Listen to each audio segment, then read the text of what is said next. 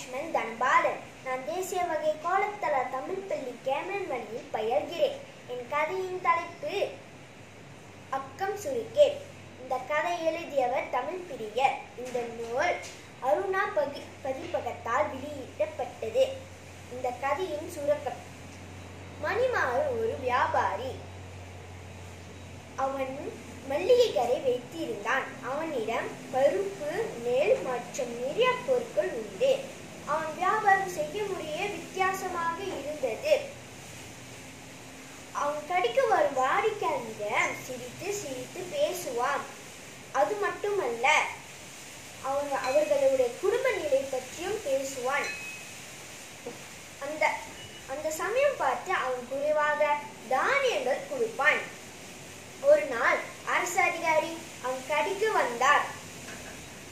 அவன் அவன் அவரிடம் சிரித்து சிரித்து பேசினான் அவன் சில நிமிடங்களுக்கு அவன் குறைவாக தானியங்கள் கொடுத்தான்.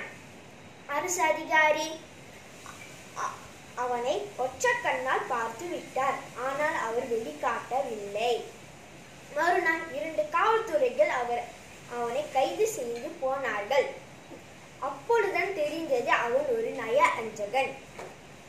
நம்மிடம் பொறுப்பு கொடுத்தால்